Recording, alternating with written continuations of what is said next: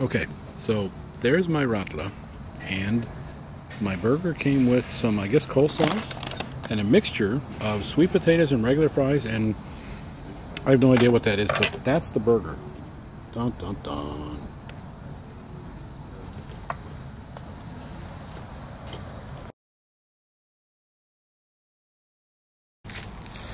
So they're set up for a nice wedding here today, I think.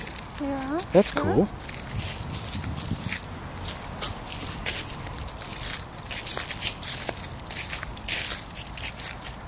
So let's just take a little walk in the park.